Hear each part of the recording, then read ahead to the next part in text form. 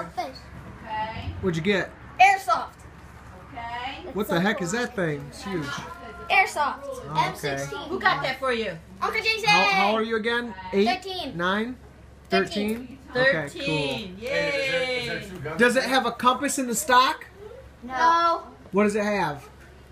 A flashlight, a grip, Xavier, move over, honey. Xavier, move over. gun.